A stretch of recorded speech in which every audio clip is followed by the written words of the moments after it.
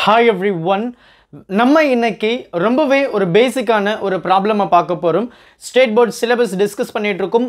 Wave ஆப்டிக்ஸில் இருக்கக்கூடிய ப்ராப்ளம்ஸை நம்ம இப்போது பார்க்கலாம். ஸோ நம்ம இன்னைக்கு பார்க்கக்கூடிய ப்ராப்ளம் என்னன்னு கேட்டிங்கன்னா ஃபிஃப்த்து ப்ராப்ளம் ஸோ ஆல்ரெடி நம்ம வந்து நாலு புக் பேக் ப்ராப்ளம்ஸை நம்ம சால்வ் பண்ணியிருந்தோம். எக்ஸாம்பிள் ப்ராப்ளம்ஸும் நம்ம சால்வ் பண்ணி முடிச்சாச்சு. ஸோ இன்றைக்கி நம்ம வந்து அஞ்சாவது ப்ராப்ளமில் இருக்கிறோம். இந்த ஃபிஃப்த்து ப்ராப்ளம் என்னன்றதை நம்ம கொஞ்சம் பொறுமையாக அப்சர்வ் பண்ணலாம். ரொம்ப சிம்பிளான கான்செப்ட் தான். என்ன சொல்கிறாங்க அப்படின்னா light of wavelength okay ஒரு லைட் இருக்குது அதனுடைய வேவ் லென்த் பார்த்தீங்க அப்படின்னா they have given five thousand angstrom அப்படின்னு சொல்லி கொடுத்துருக்காங்க. So which is nothing but five thousand into ten to the power minus ten angstrom அப்படின்றது வந்து நம்ம இப்படி தான் சொல்லுவோம் metre and which is nothing but five into ten to the power minus seven metre so இது வந்து நமக்கு தெரிஞ்சதுங்க. சரிங்களா? ஸோ நமக்கு வந்து light of wavelength of five thousand angstrom produces a diffraction pattern of the single slit அப்போது single slit அப்படின்னு சொல்லும்போது அதில் இருக்கக்கூடிய அந்த பேட்டர்ன் எப்படி இருக்கும்? நமக்கு வந்து ஒரு ஸ்லிட் இருக்கும். அந்த ஸ்லிட் வழியாக நம்ம வந்து லைட்டை பாஸ் பண்ணுவோம். அந்த லைட் வந்து நமக்கு எப்படி இருக்கும்? இந்த ஸ்க்ரீனில் நமக்கு படும். ஸோ நமக்கு அந்த பெண்டிங்கு அந்த இந்த இது எல்லாமே நமக்கு வந்து நடக்கும் நமக்கு தெரியும். ஸோ அப்போ இதில் அந்த வேவ் எப்படி இருக்கும் அப்படின்னா இந்த மாதிரி இருக்கும். கரெக்டாக ஸோ எனக்கு அப்படியே அப்படியே இதனுடைய சைஸ் வந்து அப்படியே குறைஞ்சிக்கிட்டே போகும் அப்படின்றத நம்ம பார்த்துருக்கோம் இது வந்து பார்த்தீங்கன்னா சிங்கிள் ஸ்லிட்டில் இருக்கக்கூடிய அந்த diffraction pattern so diffraction pattern எப்போ நமக்கு எக்ஸஸாக போயிட்டு அதாவது அதிகமாகும் அப்படின்னு பார்த்தீங்கன்னா இந்த ஸ்லிட்டினுடைய வித்து வந்து குறைஞ்சிக்கிட்டே இருக்கும்போது நமக்கு அந்த பெண்டிங் ஆஃப் ரே வந்து நிறைய நடக்கும் அப்படின்றத நம்ம பார்த்துருக்குறோம். ஸோ எனக்கு என்ன ஆகும் அப்படின்னா எனக்கு ஆங்கிள் இன்க்ரீஸ் ஆகும்.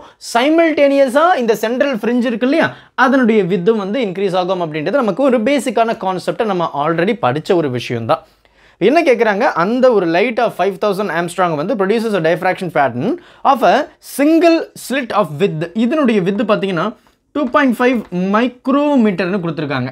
சரிங்களா? So this is nothing but two point five micrometre அப்படின்னு சொல்லி கொடுத்துருக்காங்க. What is the maximum order of diffraction possible so நமக்கு ஏ அந்த ஸ்லிட்டு வித்து பார்த்தீங்கன்னா டூ பாயிண்ட் ஃபைவ் மைக்ரோன்றது டென் டு பவர் மைனஸ் சிக்ஸுங்க சரிங்களா? இது நமக்கு கொடுத்துருக்கு.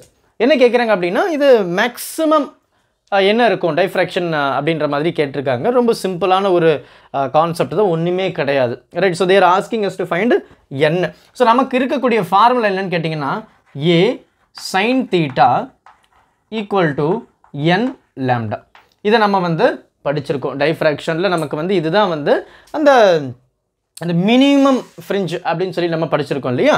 So a sine theta equal to n times lambda இங்கே கேள்வியை பார்த்தீங்கன்னா what is the maximum order of diffraction maximum order of diffraction அப்படின்னு சொல்லும்போது எனக்கு தீட்டா எப்போ மேக்ஸிமமாக இருக்கும்? When it becomes ninety degree theta எனக்கு நைன்டி டிகிரி இருக்கும்போது தான் மேக்ஸிமம் எனக்கு நடக்குது நடக்குது. அப்போது தீட்டா நைன்டி டிகிரி ஆகும்போது திஸ் பிகம்ஸ் ஒன் இல்லையா? அப்போது என்ன ஆகும் a equal to n times lambda சரிங்களா? இந்த எண்ணு பார்த்தீங்க அப்படின்னா நமக்கு வந்து இருக்கக்கூடிய ஆர்டருங்க ஸோ இது வந்து ஒன்று இது வந்து டூ இது வந்து த்ரீ அப்படியே நமக்கு போகக்கூடிய அந்த ஆர்டர் ஸோ நம்ம வந்து let's consider if n equal to ஒன்னு வச்சுப்போம். ஸோ ஃபஸ்ட் ஆர்டரில் இருக்க நமக்கு மேக்ஸிமம் தான் நமக்கு தேவை. இப்போ இந்த இடத்துல நம்ம என்ன பண்ணுறோம் எனக்கு இந்த எண் என்ன சொல்லுது அப்படின்னா நமக்கு எவ்வளோ ஆர்டர்ஸ் இருக்குது ரைட் ஸோ நமக்கு என்ன கேட்குறாங்க what is the maximum order of diffraction so அப்போ இந்த எண் வி நீட் இந்த எண் வந்து நம்ம ஒன் எடுத்திருக்கோம்.